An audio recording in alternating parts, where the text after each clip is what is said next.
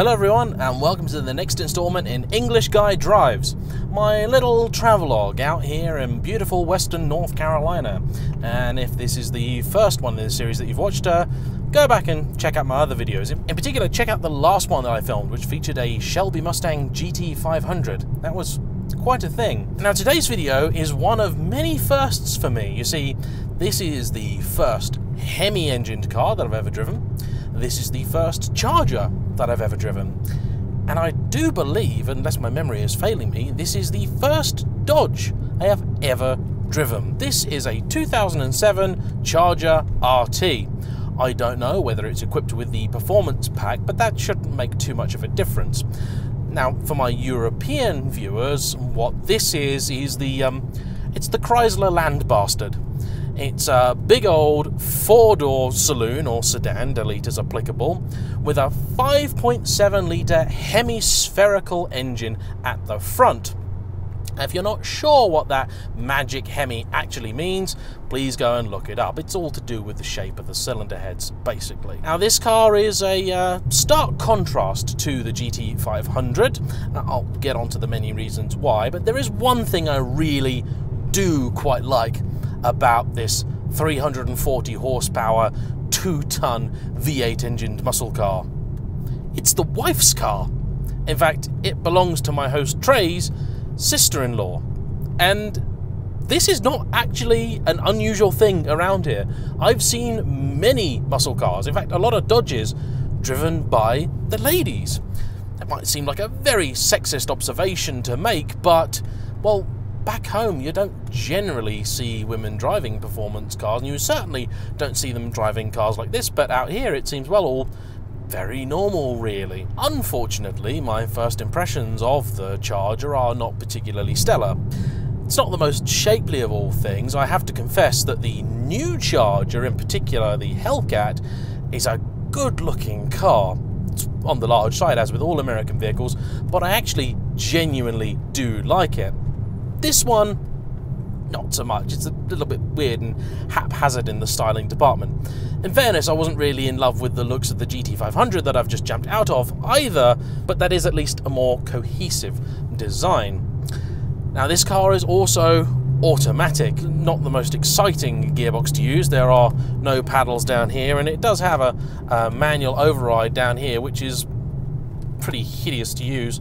I've got a very useful dial down here telling me which direction I'm pointing because that's exactly what you want in a performance car. The gauges are all quite simple. There's a slightly terrifying handwritten note down here telling mummy I love you very much and I can't help but look at it and kind of get images of those glorious patriotic American action films where the hero's willing to make that last sacrifice and they look down at the cockpit of their F-15 and they see a little picture of their family. It's a nice personal touch. Unfortunately, the, um, the, the general feeling I get from the interior of this car is what a bucket of shit it is. Um, everything in here is basically a kind of nasty plastic. The leather on the seats hasn't worn that well. However, the car has 160,000 miles on it, which is quite impressive for a car that's not really that old. It genuinely does get a lot of use. And as mentioned, that engine with 340 horsepower out of 5.7 litres isn't really trying very hard. And sadly, this car's exhaust sounds like it's pretty standard, so unlike the GT500, we're not going to get much of an eargasm if I boot it through this tunnel.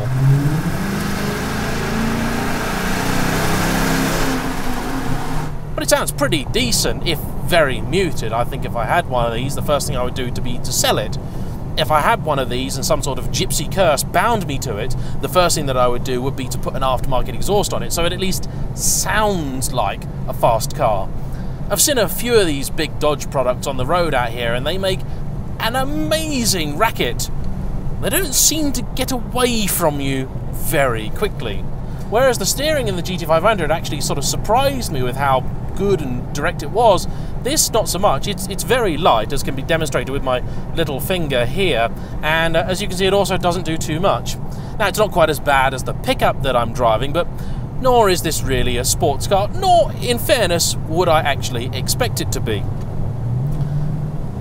There we go. Yes! Not a lot happens when you put your foot down, it must be said, and the gearbox is dim-witted and slow. Uh, the steering, I can't feel anything in, apart from the fact that the back end is not very happy that I'm trying to ask it to go around a corner.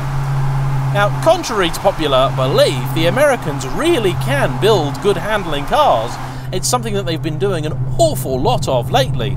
The GT500 is probably the last of the line in terms of Ford's what don't go round corners too good, and the new GT350s and so on are pretty damn good. The, the Corvette C7 is an amazing handling car, and I can't wait to see what they do with the new mid-engine C8. This, however, is everything you kind of expect from a Yank tank.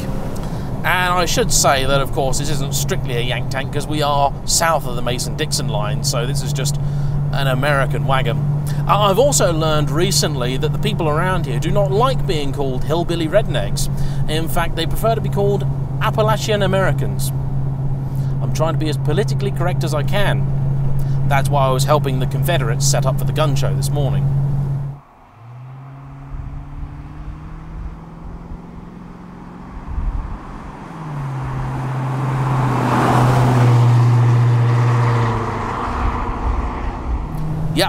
2000 RPM, not really that much happens. I mean, you'd think that at least a 5.7 litre engine with no power would have the decency to have some low down torque. Now, granted, I am going up a reasonably steep hill with a stunning view over there, and this car weighs an extortionate amount. I'm pretty sure this is over 4,000 pounds, so this is basically a two ton car.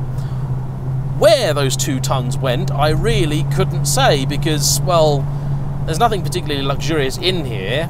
The engine's very lazy. I can only assume that most of the car is made out of sort of old girders and sort of, you know, cast pig iron.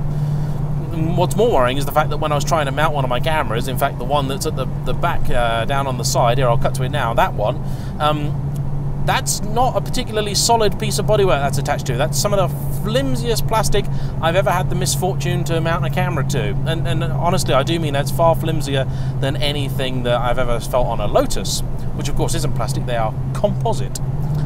And if you look at this car's brakes, they don't look like the sort of thing that are very capable of stopping a near two ton vehicle. Maybe you get better ones with the more expensive version. I can't say. There is an SRT8, and that is the true performance version. Am I being a bit too harsh on this car? Um, no, not really. And I would genuinely, and I do, hand on heart mean this, I would love to try one of the new Chargers. So Dodge, if you're watching and you haven't already sent out a hit squad for me, I would love to try a new uh, Charger Hellcat maybe when I come back to America, and you can change my opinion about what Dodgers are like. It's certainly been an interesting day for me because I've driven two American cars which in many ways were exactly what I expected of them. The GT500 at least had the decency to move and make a cracking noise, and this one is, well, a little bit. Bleh. Its main redeeming feature, of course, is that out here these are quite cheap, quite commonplace, easy to run, and the fact that it is probably quite thirsty is really irrelevant when you're paying the equivalent of about 60p a litre for your fuel. You really don't care. And it has at least lasted 160,000 miles, and in all fairness, with a, a, a quick spruce up, this would still look like a pretty decent, tidy, nice new car. So it has at least lasted, and I guess that's one sort of American reputation that we can disprove. They don't all instantly fall apart. Maybe next year it will, I couldn't say. But for now, it actually is holding together quite well. And it is an easy car to drive. I guess if you saw it as like a more of an old man's car, wow. And the McLaren 12C. Clearly very lost. Actually, I would love to be driving that down this road. But yeah, there we go. The Dodge Land Bastard RT.